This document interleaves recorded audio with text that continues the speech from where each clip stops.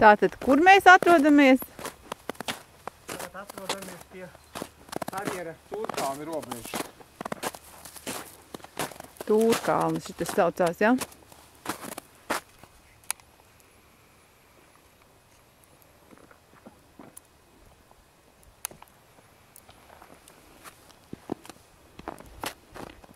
Un tas pats lielākais gārējais atrodas tur. Tur arī viens ozols, kas īsti nav redzams.